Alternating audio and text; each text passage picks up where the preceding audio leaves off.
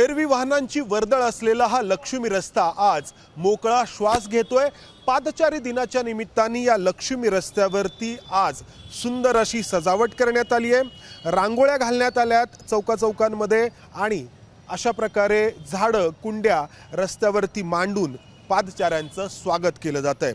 मागील अकरा वर्षांपासून पुणे महापालिका अकरा डिसेंबर हा दिवस पादचारी दिवस म्हणून साजरा करते.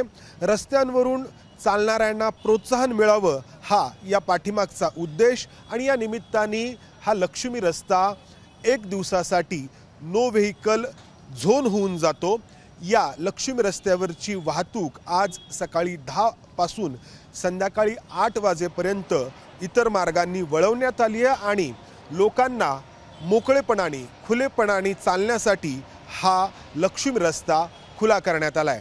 पुण्यातील ही सगळ्यात मोठी बाजारपेठ आहे. आज शहराच्या प्रत्येक कानाकोपऱ्यामध्ये मॉल्स आहेत दुकानं आहेत. मात्र या लक्ष्मी रस्त्यावरती येऊन खरेदी करण्याची मजा पुणेकर नेहमीच अनुभवत असतात आणि आज ही मजा आणखी द्विगुणित होणार आहे. कारण हा लक्ष्मी रस्ता दिवसभर नो व्हेकल झोन असणार आहे. हा लक्ष्मी रस्ता पार करता येईल. मात्र या लक्ष्मी रस्त्यावरची वाहतूक पूर्णपणे बंद असेल आणि या माध्यमातून रस्त्यांवरती चालणाऱ्यांना प्रोत्साहन मिळावं वाहनांचा वापर लोकांनी त्यांच्या आयुष्यामध्ये कमीत कमी करावा हा उद्देश सफल होण्याचा महापालिकेचा मानस आहे.